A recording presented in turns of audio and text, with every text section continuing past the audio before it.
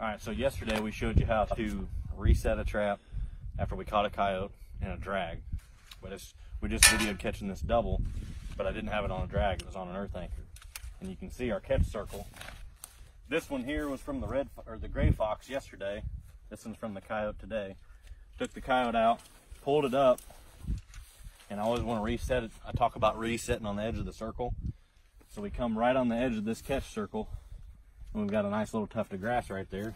We're gonna set it right there we're gonna turn it right back into the same dirt hole set.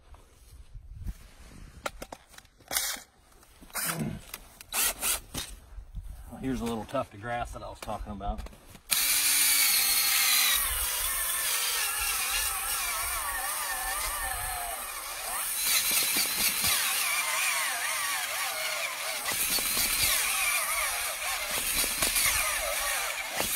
Battery's getting a little weak on the drill, if that'll work.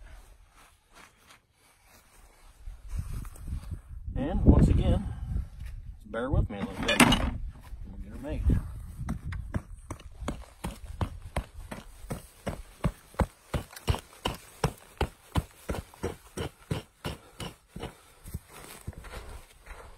I also had a, had somebody ask me yesterday how I make sure my trap is stable underneath the ground. And it all goes back to how you dig your trap bed and how that thing sits back in there. Normally, a lot of guys will dig just a square hole perfect and try to really primp it. I just dig it out and kind of make a just a bowl. And then I'll go in the bottom of it and make that big divot. And that's going to be a place for your chain to sit and kind of squares up the bottom of it. And I'll show you how this trap sits in here, but you gotta get it anchored.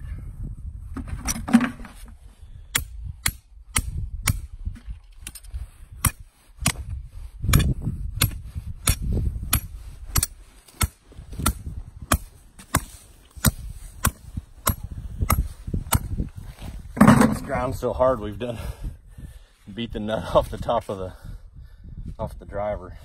So we need to get a new one of them, but still working. All right, take your pan cover. You've seen us do this a million times. This is just a Bridger number three, fully modified. Dog's been up a little bit on it, but we bent it right back. She's good as new.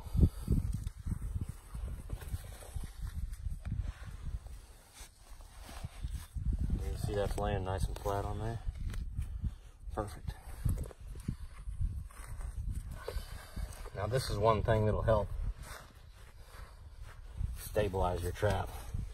Throw a little bit of that dirt back in there.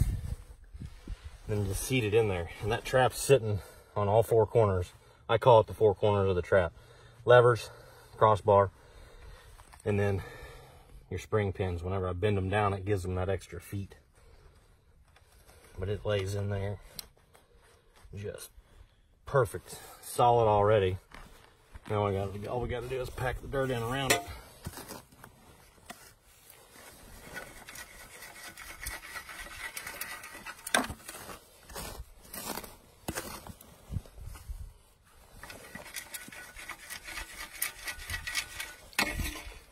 Build the mountain right over top of your trap. Find your pan. Grab your levers, seat it in one more time. Pack it in.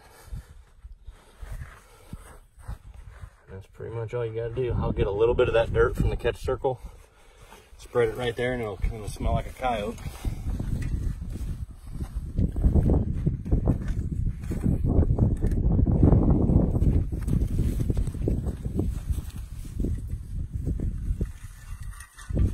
Take a little bit of the duff off on the right hand side.